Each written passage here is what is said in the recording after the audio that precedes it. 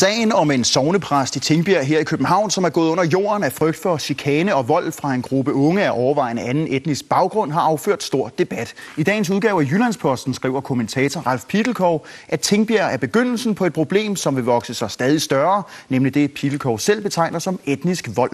Vi tager en debat om lidt. Den var oprindeligt tænkt som en lille hyggelig oase tæt på Uderslev Mose i den nordvestlige udkant af København. Imellem de gule boligblokke anlagde man legepladser og plantede bærbuske. Smukke omgivelser, hvor børnene kunne lege og naboerne tale med hinanden. Men bærbuske og nabohygge er nok ikke det første, man associerer Tingbjerg med i dag. I stedet har bydelen ry for at være plaget af uroligheder og herværk. Den seneste begivenhed, der har fået Tingbjerg i medierne, er sagen om bydelens præst, som efter gentagen herværk og chikane har sygemeldt sig.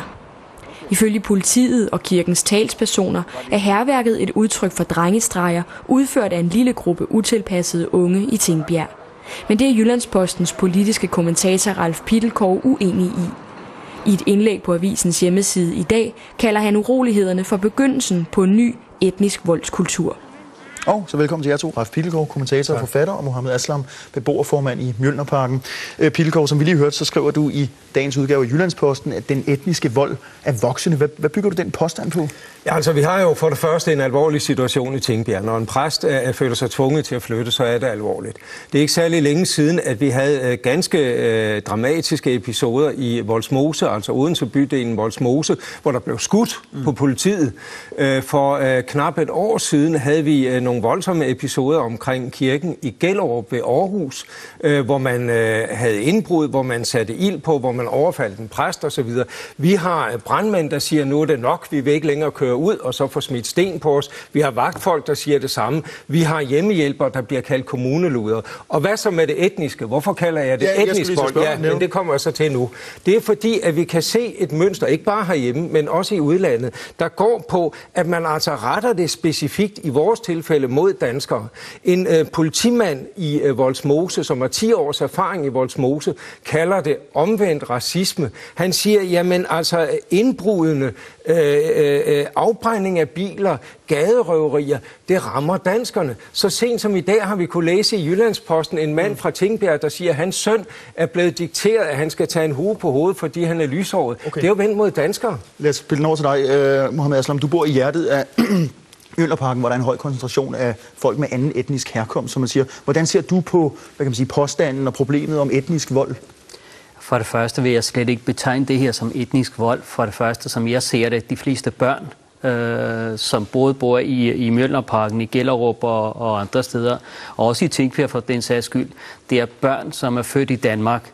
Og for, jeg betegner dem som danske børn som er født men i Danmark. Men de har en kulturel bagage med? Og ja, deres forældre er født i et andet sted, kommet øh, til Danmark fra et andet sted. Men børnene, de er født i Danmark. Og de, de skal på en eller anden måde, og vi skal som samfund prøve at hjælpe til med, at de kan, de kan finde deres fodfæste, at de er danskere. Og, og det er en kan... god intention, undskyld, jeg ja. men, men som øh, du hører Pilkov sige, så er der mange af dem, i hvert fald i hans analyse, der tager afsæt i ligesom at øh, tage afstand fra det danske. De bruger Danmark og, og det danske som, øh, som noget negativt og som noget, de vender sig imod. Øh, kan du ikke genkende det problem? Jeg kan godt genkende øh, problemet, men hvis jeg, hvis jeg lige gør, gør tingene, øh, give det en sammenhæng. Jeg kom til Danmark som syvårig knægt i 75. Jeg kunne ikke i min vildeste fantasi forestille sig, at vores by, nu taler jeg fra mit vedkommende København, kunne udvikle sig til det, som den har gjort. Men hvor så jeg første gang problemet med, at bilerne blev brændt af, og der var uro i vores gader? Mm. Det gjorde jeg i forbindelse med ungdomshuset Pilgaard? Aslam, lad mig give dig et konkret øh, eksempel. For et par år siden var der en svensk øh, samfundsforsker, der tog sig for i Malmø og undersøge, hvad er det, der får de unge mennesker til at begå den kriminalitet, de begår. Hun blev fuldstændig chokeret, fordi det, der viser at være det gennemgående træk i deres svar, det var, vi fører krig mod svenskerne. Der er sågar, hun spørger en af dem, øh, hvad forstår du ved magt? Og han svarer, jeg forstår, at svenskerne ligger på jorden og kysser mine fødder.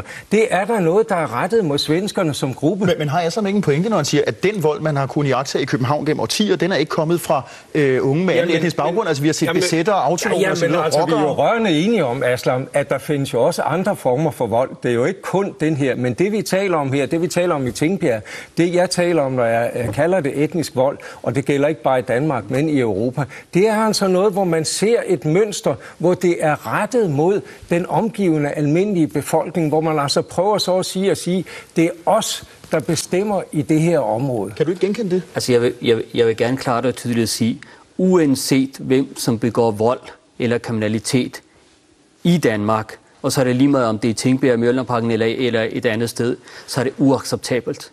Jeg synes bare ikke, at vi skal gøre det her til dem og os konflikt, som jeg mener, at du gør med de artikler, som du har skrevet her. Du taler om præsten i Tingbjerg. Ja. Hvis du læser politikken i dag, der har vi en forhenværende borgmester, Palle Jammer, som skriver, at øh, fra den tid, hvor han var i 13 år som borgmester i København, efterfølgende, så har han cirka 10 år og arbejdet i Tingbjerg, og han kunne godt se den, den uh, intolerance, som den her person, du taler om, viste hele vejen igen overfor altså, ikke kun de unge, men også de voksne. Du lyder som om det, du siger, det er, at han har selv bedt om det, fordi det, jeg ellers øh, havde tænkt mig, øh, når du var færdig med det der, det var at sige, vi kan da vel blive enige om på det skarpeste og fordømme det, som præsten har været udsat for. Vi kan da vel blive enige om at bakke ham 100% op i det? forhold til det pres, han har været udsat for. Kan, kan vi ikke det? Vi bakker alle op om... Jamen, som, præsten, nu taler om præsten der. Nu, nu, hvis vi skal tale om specifik, uh, specifikt præsten, uh, præsten her, så vil jeg sige, hvis en voksen person kommer på et niveau der, hvor børnene er, og ikke kan bruge sin mere sunde fornuft og provokere til ting og sager i et, i et område, og du kan læse politikken fra i dag, ja, og, der, og, der fortæl, og, der, og der fortæller en forhenværende borgmester de problemer, han havde med den her præst. Men det er som trods alt en kilde. Altså, ja, det er så en kilde, en som har arbejdet mm. i som... Tingbjerg over 10 år som... i et helt område. Okay, det, det er. Øh, altså, øh, man kan sige, at Aslam bygger øh, en del af sin modkritik på en kilde. Altså, hvilke kilder bygger du på? Altså, du har jo ikke din daglige færd i Tingbjerg, meget bekendt.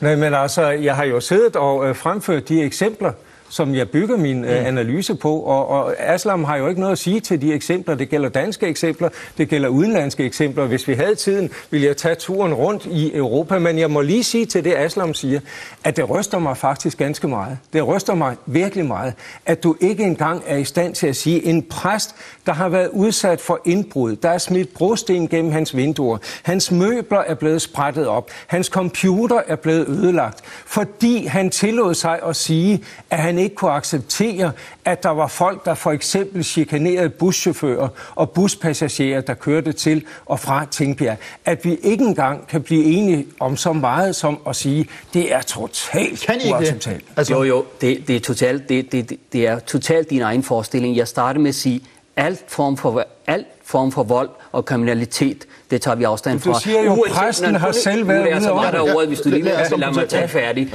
Det tager vi totalt afstand fra. Men jeg kan bare ikke... Øh, jeg, jeg synes bare ikke, det er fair, når du tager halve sandheder her og der, og prøver dem at gøre, gøre dem til en evig sandhed. Nu for eksempel, i, i, i din artikel nævner du børn, store børn fra Mjølnerparken. Vi kan herfra tage ud til stationen Bellerhøj, de kan ikke sige, at dem, der generede øh, hjemmehjælperne, det var børn fra Mjølnerparken. Hvordan kan du i det hele taget tage nogle halve historier altså, og gøre dem til evige sandheder? Det er jo ikke rigtigt. Du skal nu lige tage, tage fat i det der. Jeg så jo dig i tv forleden, hvor du blev spurgt om, hvad er det, der gør, at børn i Møllerparken, de angriber hjemmehjælpere? Og du sagde, at det er fordi, de tror, at det er en slags politi, hvad der jo i øvrigt er en ret absurd påstand. Så er der jo noget helt galt med integrationen, hvis de tror, at hjemmehjælperen kommer fra politiet. Men det var jo faktisk, hvad du sagde i fjernsynet. Ja, altså, jeg, må, må jeg lige gøre det færdigt her? Det jeg sagde, det var, at der var sket nogle hændelser tæt på Mjølnerparken. Og så tog Mjølnerparkens afdelingsbestyrelse i samarbejde med Sundhedsforvaltningen i Københavns Kommune et initiativ til at lave et nyhedsbrev og fortælle folk i området, både voksne og de unge, mm. hvad er det for et værdifuldt arbejde, som hjemmehjælperne laver? Så, altså, jeg forstår ikke, at en historie, som, som er noget andet, og du laver den til noget helt andet, Men det og så, og så ikke. det gør du da. Det var ikke i Mjølnerparken, det foregik. Ja, men okay. det er da fuldstændig hammerende ligegyldigt i den her sammenhæng, om det var lige ved siden af Mjølnerparken, eller om det var i Mjølnerparken. Det er da helt ligegyldigt. Her, jeg ved, I ser, og det er vist også fremgået forskelligt på de her sager. Vi kommer med garanti, desværre kunne man tilføje, til at tage debatten igen. Ralf Pilgaard og Mohamed Aslam, tak fordi I kom.